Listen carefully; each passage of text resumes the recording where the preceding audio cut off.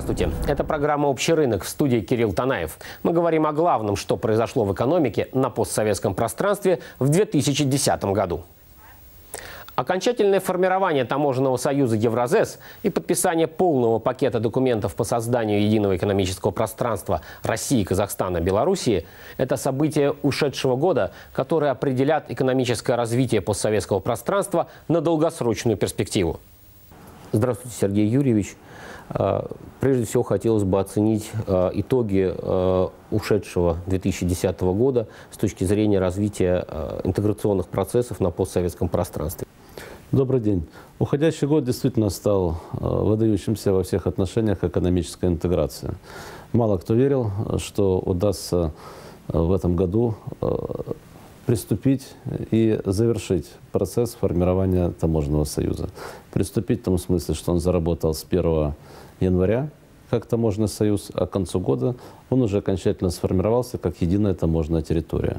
У нас э, э устранены э, таможенные барьеры во взаимной торговле, устранены барьеры, связанные с контролем санитарных, ветеринарных, фитосанитарных норм, которые стали едиными для всех трех государств устраняются технические барьеры. В общем, мы э, сумели создать э, общий рынок товаров. Это важнейшее э, условие построения эффективного интеграционного пространства экономического, основа для создания единого экономического пространства, в отношении которого тоже сделан важнейший шаг, сформирована договорно-правовая база. 9 декабря главы государств подписали пакет соглашений и одобрили э, соглашения, которые определяют формирование единого экономического пространства. Э, мы с, через год, с начала 2012 года, будем иметь уже не только общий рынок товаров, но и общий рынок услуг, э, капитала э, и трудовых ресурсов. Действительно, не успели привыкнуть к таможенному союзу, как уже единое экономическое пространство. И уже через год. Президенты трех стран говорили на саммите в декабре, что все это шаги на пути создания новой общности – Евразийского союза. Еще год назад эксперты с заметной долей скептицизма говорили, посмотрите, мол, таможенный союз идет со скрипом, а вы уже о едином экономическом пространстве говорите, далеко еще до ЕЭП. И тогда действительно сложно было поверить, что всего за год экономическая интеграция трех стран выйдет на совершенно новый уровень. Таможенный союз начнет приносить реальную выгоду и станет хорошей базой для единого экономического пространства. Мы просто семимильными шагами движемся к поставленной цели – это реально была титаническая работа. По объему, когда мы все это начинали, у меня были ощущения, что на это потребуются годы. Тем не менее, она сделана. Нам удалось сформировать базу единого экономического пространства до конца 2010 года. Теперь перед экспертами стоит задача провести все внутригосударственные процедуры, необходимые для вступления в силу подписанных документов с тем, чтобы с 1 января 2012 года стартовала работа единого экономического пространства. Решающими для создания ИЭП стали два события в этом году. Это саммиты высшего органа Таможенного союза на уровне глав государств в декабре и на уровне глав правительств в ноябре. Именно на этих встречах был подписан базовый пакет документов по ИЭП, вот своего это... рода правовой фундамент, всего 17 соглашений. Впрочем, подписанию предшествовал сложный процесс переговоров. Чтобы подписать документы по ИЭП, надо было снять эти вопросы сегодняшнего дня. Ну, например, между э, Белоруссией, Россией, да и Казахстаном э, вопросы таможенных пошлин о которых говорил только что президент России, на нефтепродукты и на нефть, поставляемую в Беларусь. Такие пошлины существовали. То есть мы расчистили путь подписанию всех 17 документов по ЕЭП. Главный камень преткновения – экспортные пошлины на нефть удалось сдвинуть в сторону. Россия пошла на уступки и отменила их для Беларуси, взамен чего последняя пообещала ратифицировать весь пакет соглашений по ЕЭП. При этом пошлины с экспорта нефтепродуктов, которые будут производиться в Беларуси из российской нефти, будут полностью перечисляться в бюджет России. Хотя это компенсирует только часть российских потерь. Зато для Беларуси экономический эффект от отмены пошлин эксперты эксперты уже оценили. Это почти 4 миллиарда долларов в год. Главное достижение – это э, решение проблемы дележки нефтяных денег, идущих через Беларусь назад. Потому что в России не хватает нефтеперерабатывающих заводов, а в Беларуси два огромных завода, которые так и строились под общие нужды.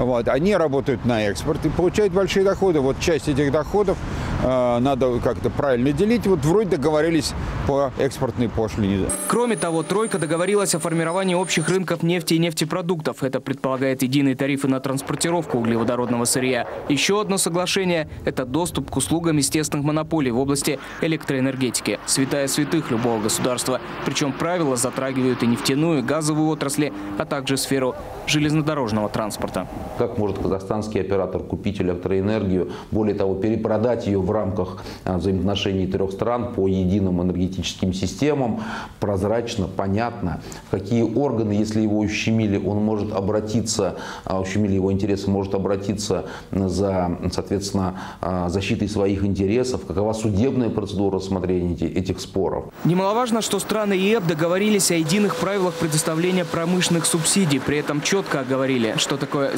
запрещенная поддержка. Например, субсидии, выданные аграриям с обязательным условием закупки отечественной сельхозтехники. Тройка также договорилась о единых нормах поддержки сельхозпроизводителей. Государственная поддержка, которая оказывается производителям сельскохозяйственной продукции, она не будет превышать 10-процентный э, уровень от э, валового продукта сельского хозяйства.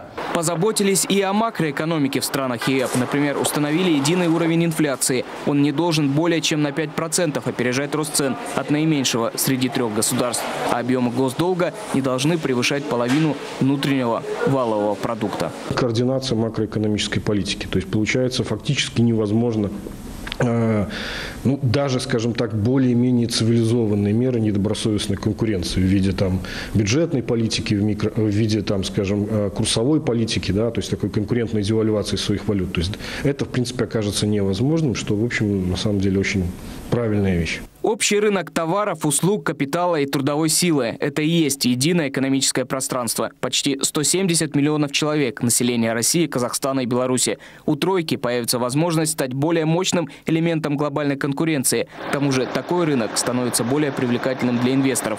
Эксперты уже пророчат многомиллиардные выгоды от создания единого экономического пространства.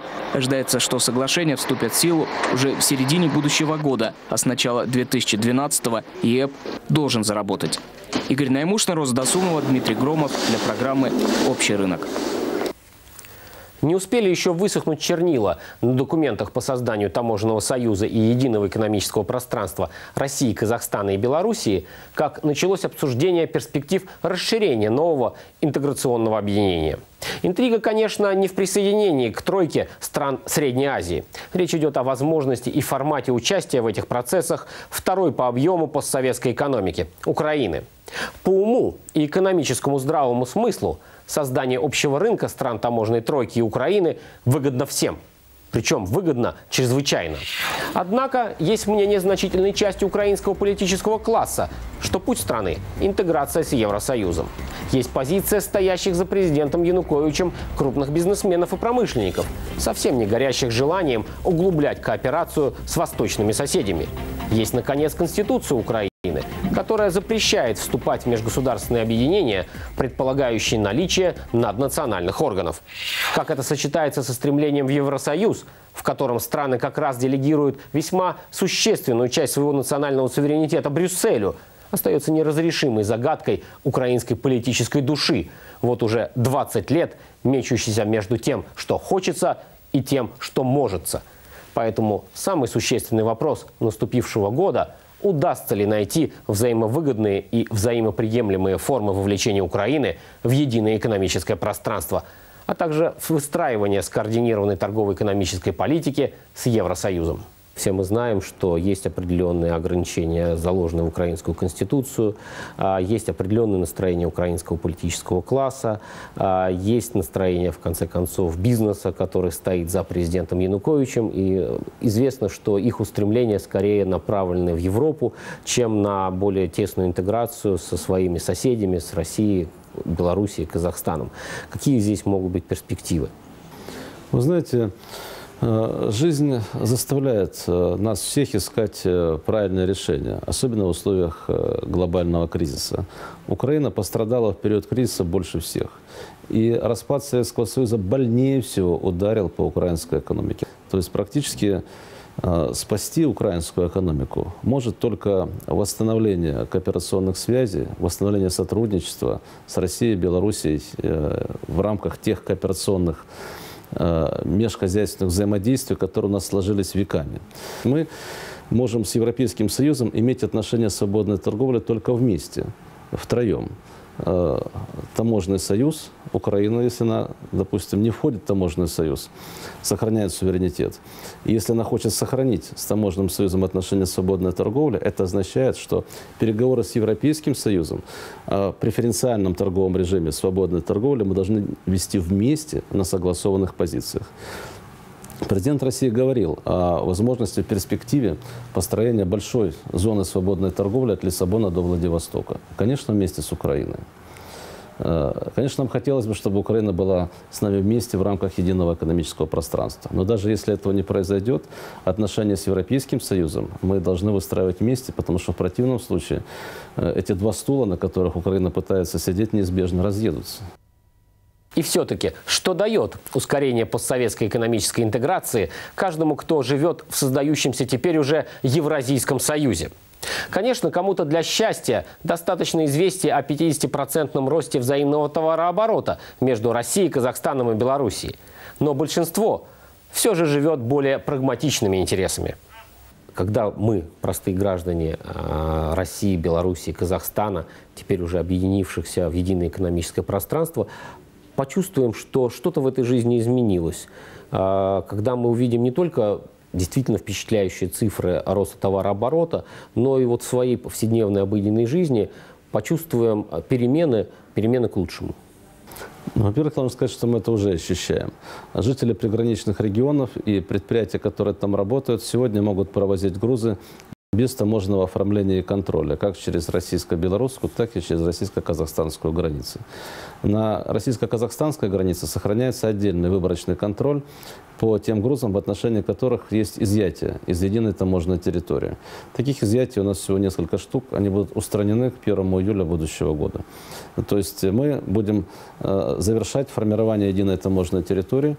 Это означает, что мы должны э, создать э, не только общий э, режим э, функционирования нашего э, пространства с точки зрения движения товаров внутри и пересечения общей границы, но и выстроить с третьими странами одинаковые для всех отношениях. То есть унифицировать торговые режимы, прежде всего в СНГ.